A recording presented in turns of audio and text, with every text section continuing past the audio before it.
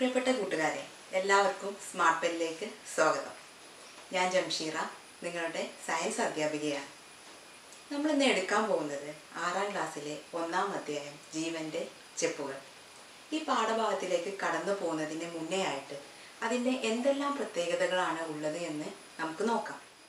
അതിന്റെ ഒന്നാമത്തെ പ്രത്യേകത എന്ന് പറയുന്നത് നിങ്ങൾ അഞ്ചാം ക്ലാസ്സിലെ പാഠഭാഗത്തിന്റെ തുടർച്ച തന്നെയാണ് ഈ അധ്യായം. അതുകൊണ്ട് തന്നെ നിങ്ങൾക്ക് ഇതിൽ പറയുന്ന കൺസെപ്റ്റ് കൂടുതൽ എളുപ്പത്തിൽ മനസ്സിലാക്കാൻ സാധിക്കും.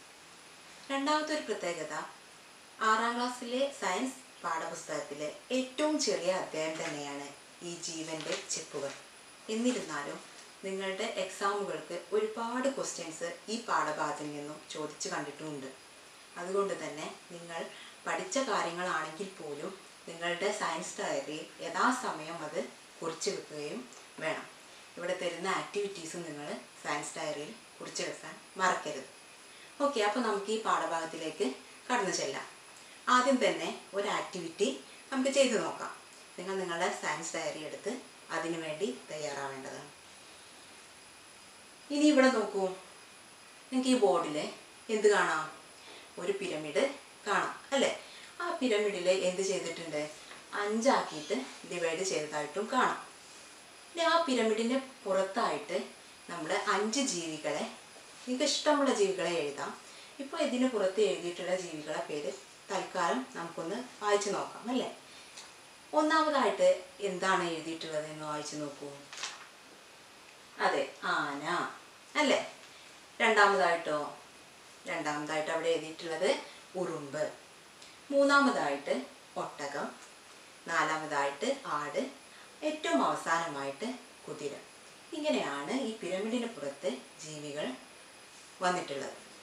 ഇനി നമുക്ക് എന്ത് ചെയ്യണം? ഈ പുറമേ കാണുന്ന അഞ്ച് ജീവികളെയും ഈ പിരമിഡിനുള്ളിലായിട്ട് നമുക്ക് പ്ലേസ് ചെയ്യണം. അതിനൊറ്റ കാര്യം മാത്രം ശ്രദ്ധിക്കുക. ഈ പിരമിഡ് നോക്കൂ. എന്താണ് അതിന്റെ പ്രത്യേകത? ഈ പിരമിഡിന്റെ ഏറ്റവും താഴെയുള്ള കോളമാണ് ഏറ്റവും വിസ്തൃതി കൂടുതലായിട്ടുള്ളത്. അല്ലേ?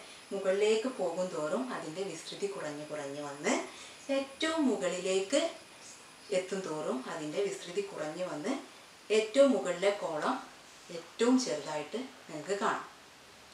അങ്ങനെയാണെങ്കിൽ നമ്മൾ ജീവികളെ അതിലേക്ക് പ്ലേസ് ചെയ്യുന്ന സമയത്ത് ആ കൂട്ടത്തിലെ ഏറ്റവും വലിയ ജീവിയെ ഈ പിരമിഡിലെ ഏറ്റവും താഴത്തെ വിസ്തൃതിയുള്ള കോളത്തിൽ തന്നെ ഉൾപ്പെടുത്തണം. അപ്പം ആ കൂട്ടത്തിലെ ഏറ്റവും വലിയ ജീവി ഏതാണ്? അതെ ഒരു സംശയം കൂടാതെ നമുക്ക് പറയാൻ കഴിയും. ആന. അല്ലേ? അപ്പം ആനയെ നമ്മൾ ഏറ്റവും മുകളിലാണോ ഏറ്റവും താഴെയാണോ നമ്മൾ ഉൾപ്പെടുത്തേണ്ടത്? വെരി ഗുഡ് ഏറ്റവും താഴത്തെ ഏറ്റവും വിസ്തൃതിയുള്ള കോളത്തിൽ നമ്മൾ ഉൾപ്പെടുത്തണം. എന്നാൽ നിങ്ങൾ നിങ്ങളുടെ സയൻസ് ഡയറിയിൽ പിരമിഡ് വരച്ച് അതിനെ അഞ്ചായി ഡിവൈഡ് ചെയ്ത് അതിന്റെ ഏറ്റവും താഴെ ആനയെ ഉൾപ്പെടുത്തി നിങ്ങൾ ചെയ്യാം നമുക്ക് ആനയെ ഒഴിച്ചു നിർത്തിയാൽ നമുക്ക് നോക്കാം ബാക്കിയുള്ളതിൽ ഏറ്റവും വലിയ ജീവി ഏതാണ്? യെസ് വെരി ഗുഡ് ഒട്ടകം അല്ലേ? അപ്പോൾ ഒട്ടകത്തിനെ തൊട്ടടുത്ത കോളത്തിലായിട്ട് നിങ്ങൾ ക്രമീകരിക്കണം. തൊട്ടടുത്ത മുകളിലുള്ള ഒട്ടകത്തിന് മുകളിലായിട്ട് ഏത് ജീവിയാവും വരിക? യെസ് കുതിര അല്ലേ? കുതിര. കുതിര കഴിഞ്ഞാലോ? ആട് വെരി ഗുഡ് ആട്. പിന്നെ ഒറ്റ ജീവി മാത്രമേ ബാക്കിയുള്ളൂ അതാരാ വരിക? ഉറുമ്പ്. ഓക്കെ അപ്പോൾ ഈ പിരമിഡിൽ നമ്മൾ എന്ത് ചെയ്തു? ആ പുറത്തുള്ള അഞ്ച് ജീവികളെയും അതിന്റെ വലുപ്പത്തിന്റെ ഓർഡറിനനുസരിച്ച് നമ്മൾ ക്രമീകരിച്ചു കഴിഞ്ഞു. അപ്പോൾ നമ്മൾ ഒന്നാമത്തെ ആക്ടിവിറ്റി വളരെ രസകരമായിട്ട് വളരെ എളുപ്പത്തിൽ നമ്മൾ ചെയ്തു തീർത്തു അല്ലേ? ഇനി നമുക്ക് ഈ പിരമിഡ് നോക്കുമ്പോൾ ഏറ്റവും താഴത്തെ കോളത്തിൽ ആനയും ഏറ്റവും മുകളിലത്തെ കോളത്തിൽ ഉറുമ്പുമാണ് വന്നിട്ടുള്ളത്. അതിന്റെ അർത്ഥം ഈ പ്രപഞ്ചത്തിലെ ഈ ലോകത്തിലെ ഏറ്റവും വലിയ ജീവി ആനയാണെന്നോ അല്ലെങ്കിൽ ഏറ്റവും ചെറിയ ജീവി ഉറുമ്പാണെന്നോ അർത്ഥമുണ്ടോ? ഇല്ല അല്ലേ? ഉറുമ്പിനേക്കാളും ചെറിയ ജീവികളും കാണാം ആനയേക്കാൾ വലിയ ജീവികളും കാണാം. ഓക്കെ നമ്മൾ ഇപ്പോൾ ജൂൺ ഒരു മൂന്നാഴ്ച പിന്നിട്ട് കഴിഞ്ഞു അല്ലേ? ഈ ഒരു അവസരത്തിൽ എല്ലാ വർഷവും നമ്മൾ എവിടെയാണ് ഉണ്ടാവുക? നമ്മൾ സ്കൂളിൽ പുതിയ യൂണിഫോമൊക്കെ ധരിച്ച് പുതിയ ക്ലാസ് റൂമുകളിൽ പുതിയ കൂട്ടുകാരുമായി പരിചയപ്പെട്ട് പുതിയ അധ്യാപകരുമായിട്ടോ അവരുടെ വിഷയമായിട്ടൊക്കെ ഇണങ്ങിച്ചേർന്ന് നല്ല സന്തോഷമായിട്ട് സ്കൂൾ ഗ്രൗണ്ടിലൊക്കെ ആടിപ്പാടി കളിച്ചുകൊണ്ടിരിക്കുന്ന ഒരു സമയമാണല്ലേ ഇത്? ഇപ്പോൾ നിങ്ങൾ വീട്ടിലിരുന്ന് ഓൺലൈൻ ക്ലാസ് കണ്ടുകൊണ്ടിരിക്കുന്ന ഒരു സാഹചര്യമാണ് ആരാണ് നിങ്ങളെ ഈ വീട്ടിൽ പിടിച്ചിരുത്തിയിട്ടുള്ളത്? നിങ്ങളുടെ മാതാപിതാക്കൾ ആരെങ്കിലും നിങ്ങൾ വീട്ടിൽ നിന്ന് പഠിച്ചാൽ മതി എന്ന് പറഞ്ഞിട്ടുണ്ടോ? അങ്ങനെ പറഞ്ഞോ? ഇല്ല. പിന്നെ ആരാണ് നമ്മളോട് വീട്ടിലിരിക്കാൻ? അതാണ് സേഫ് എന്ന് പറഞ്ഞത് ആരാണ്? ഓക്കെ എല്ലാവർക്കും അറിയാം കൊറോണ അല്ലേ? ഈ ഒരു സാഹചര്യത്തിൽ നമ്മൾ ഏറ്റവും കൂടുതൽ പേടിപ്പെടുത്തുന്ന ഒന്നാണ് കൊറോണ അല്ലെങ്കിൽ കൊറോണ വൈറസ് കോവിഡ് നയന്റീൻ എന്നൊക്കെ പറയാം. ഈ ഒരു സാഹചര്യത്തിൽ നമ്മൾ പേടിക്കുകയല്ല ശരിക്കും വേണ്ടത്. എന്താണ്? എന്നാൽ നമുക്ക് കൊറോണ വൈറസിനെ കുറിച്ച് പറയുകയാണെങ്കിൽ നമ്മൾ ആരെങ്കിലും കൊറോണ വൈറസിനെ നേരിട്ട് കണ്ടിട്ടുണ്ടോ? നിങ്ങൾ കണ്ടിട്ടുണ്ടോ? ഇല്ല. നമ്മൾ ആരും കണ്ടിട്ടില്ല. പക്ഷേ നമ്മളോട് പറയുന്നുണ്ട് എന്ത്? കൂടെ കൂടെ കൈ കഴുകണം പുറത്ത് പോകുമ്പോൾ മാസ്ക് ധരിക്കണം എന്നൊക്കെ പറയാറുണ്ട് അല്ലേ? നമുക്ക് ഈ കൊറോണ വൈറസിനെ കാണാൻ കഴിയുമെങ്കിൽ നമ്മുടെ കയ്യിൽ വന്നിരുന്നാൽ നമുക്ക് കണ്ടുകൂടെ? അങ്ങനെ കാണാൻ കഴിയുമെങ്കിൽ നമുക്ക് ആ സമയത്ത് മാത്രം എന്ത് ചെയ്താൽ മതി? കൈകൾ കഴുകിയാൽ മതിയായിരുന്നു. അല്ലേ? ഇപ്പം നമുക്ക് എന്ത് ചെയ്യാൻ പറ്റുന്നില്ല? കൊറോണ വൈറസിനെ കാണാനായിട്ട് പറ്റുന്നില്ല.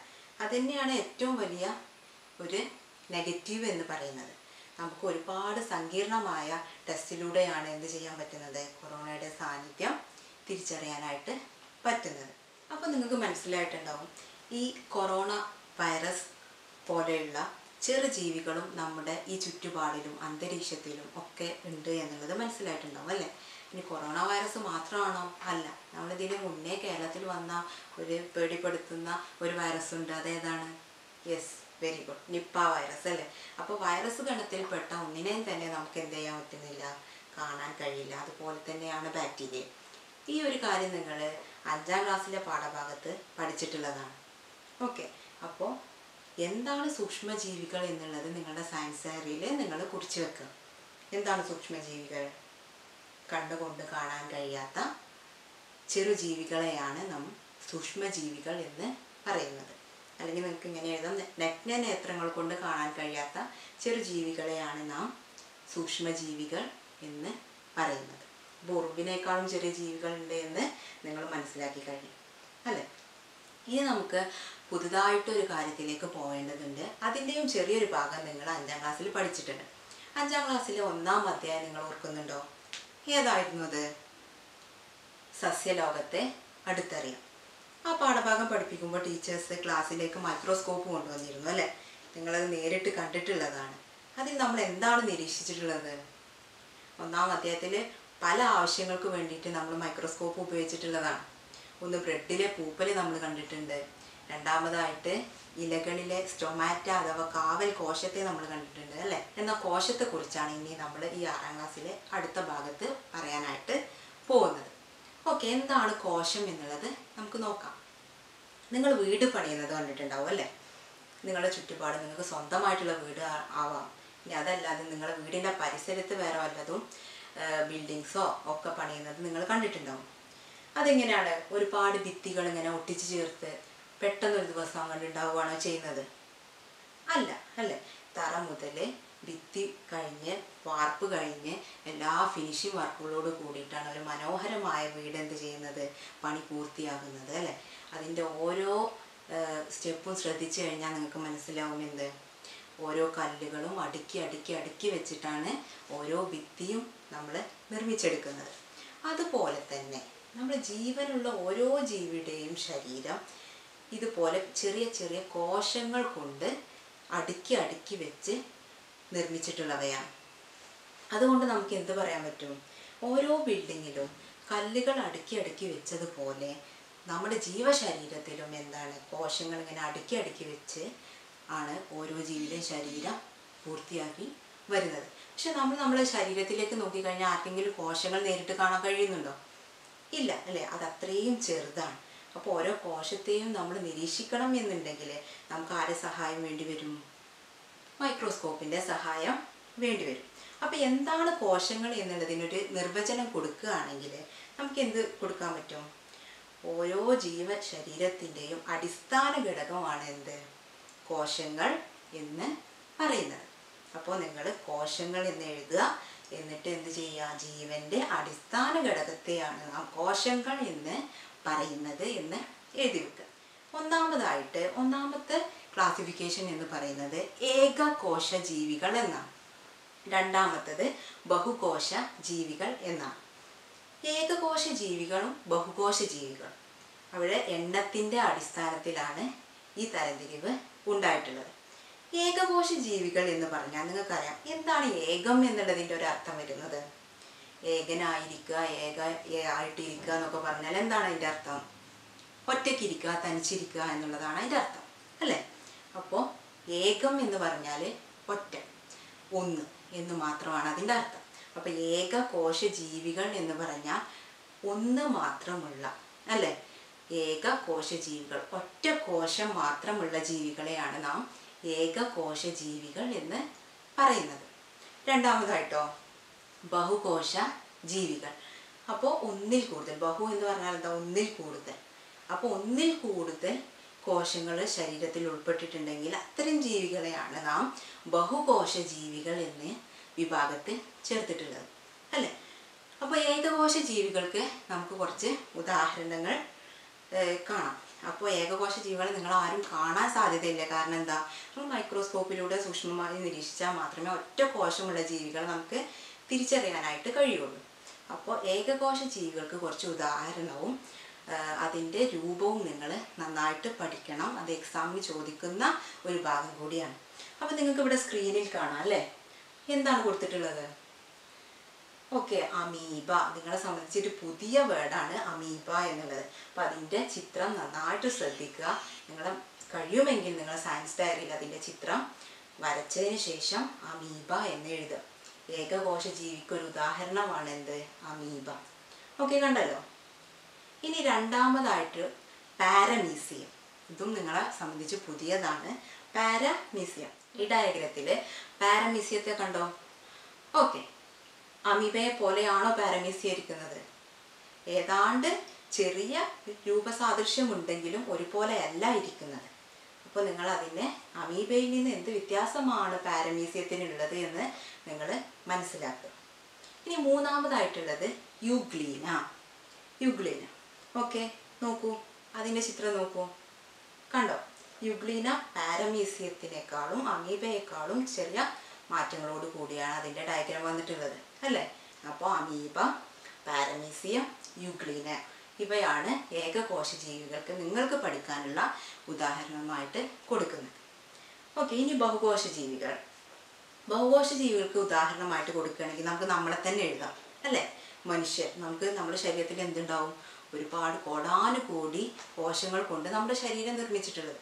അപ്പോൾ ഒന്നിലധികം കോശങ്ങൾ വരുന്ന ബഹുകോശ ജീവികൾ എന്നുള്ള ഗണത്തിൽ നമ്മൾ ഉൾപ്പെടുന്നില്ലേ? അപ്പോൾ നമ്മൾ ആദ്യത്തെ ആക്ടിവിറ്റിയിൽ ചെയ്ത എല്ലാ ജീവികളെയും നമുക്ക് ഏതിന്റെ ഉദാഹരണത്തിൽ കൊടുക്കാം? ബഹുകോശ ജീവികളുടെ ഉദാഹരണത്തിൽ നമുക്ക് കൊടുക്കാം. അപ്പോൾ അത് സെപ്പറേറ്റ് ആയിട്ട് നിങ്ങൾ പഠിക്കേണ്ട ആവശ്യമില്ല. നമുക്ക് കണ്ണിൽ കാണാവുന്ന ജീവനുള്ള എല്ലാ വസ്തുവിനെയും നമുക്ക് ഇതിൽ ഉൾപ്പെടുത്താം? ബഹുകോശ ജീവികളിൽ ഉൾപ്പെടുത്താം. അപ്പോൾ ഇത്രയും കാര്യങ്ങളാണ് ഇന്നത്തെ ക്ലാസ്സിൽ പഠിക്കാനുള്ളത്. അപ്പോൾ ഇന്നത്തെ ക്ലാസ്സിൽ എന്തൊക്കെ പഠിച്ചു എന്നുള്ളത് നമുക്ക് ഒന്നുകൂടെ നോക്കാം. അല്ലേ? ആദ്യം തന്നെ നമ്മൾ എന്താ പഠിച്ചത്? കുറച്ച് ജീവികളെ അതിന്റെ വലിപ്പത്തിന്റെ അടിസ്ഥാനത്തിൽ നാം തരം തിരിച്ചു. എന്നിട്ട് ഏറ്റവും ചെറിയ ജീവി അതിലേതായിരുന്നു? ഉറുമ്പായിരുന്നു. അല്ലേ? എന്നിട്ട് നമ്മൾ എന്ത് പഠിച്ചു? ഉറുമ്പല്ല ഈ പ്രപഞ്ചത്തിലെ ഏറ്റവും ചെറിയ ജീവി എന്നുള്ളത് നമ്മൾ കണ്ടു. പിന്നെയോ ഉറുമ്പിനേക്കാളും ചെറിയ ജീവികളുണ്ട് എന്ന് പഠിച്ചു. കണ്ടുകൊണ്ട് കാണാൻ കഴിയാത്ത അത്തരം ജീവികളെ നാം സൂക്ഷ്മജീവികൾ എന്ന് പറഞ്ഞു. രണ്ടാമതായിട്ട് നമ്മൾ കോശങ്ങൾ എന്താണെന്ന് പറഞ്ഞു. എന്താണ് കോശങ്ങൾ? ജീവന്റെ അടിസ്ഥാന ഘടകത്തെയാണ് കോശങ്ങൾ എന്ന് വിളിക്കുന്നത് എന്ന് പറഞ്ഞു. അവയെ എണ്ണത്തിന്റെ അടിസ്ഥാനത്തിൽ രണ്ടാക്കി തരംതിരിച്ചിട്ടുണ്ട് എന്ന് പറഞ്ഞു. അതിൽ ഒന്നാമത്തത് ഏകകോശ ജീവികളെന്നും രണ്ടാമത്തത് ബഹുകോശ ജീവികളെന്നുമാണെന്ന് പറഞ്ഞു. അതിൽ ഏകകോശ ജീവികൾക്ക് അമീബ പാരമീസിയം യുഗ്ലീന എന്നിങ്ങനെ ഉദാഹരണം കൊടുത്തു. ബഹുകോശ ജീവികൾക്ക് മനുഷ്യർ ആന ഉറുമ്പ് അങ്ങനെ കണ്ടുകൊണ്ട് കാണാൻ കഴിയുന്ന ജീവികളെയും ഉൾപ്പെടുത്തി. അപ്പോൾ ഇന്നത്തെ ക്ലാസ്സിൽ പറഞ്ഞ കാര്യങ്ങൾ നിങ്ങൾക്ക് മനസ്സിലായി എന്ന് ഞാൻ വിചാരിക്കുന്നു. ഇനി മനസ്സിലാത്ത കാര്യങ്ങൾ ഉണ്ടെങ്കിൽ മുതിർന്നവരോടോ അധ്യാപകരോടോ ഒക്കെ ചോദിച്ച് നിങ്ങളുടെ കൺഫ്യൂഷൻസ് ഒക്കെ തീർക്കുക. ഓക്കെ? അപ്പോൾ ഇന്നത്തെ പാഠഭാഗം ഇവിടെ അവസാനിക്കുകയാണ്. ഇതിന്റെ തുടർച്ചയായിട്ട് ഇനി കുറച്ച് കാര്യങ്ങൾ കൂടെ പറയാനുള്ളൂ. അത് നമുക്ക് അടുത്ത ക്ലാസ്സിൽ പറയാം. Thank you. Have a nice day.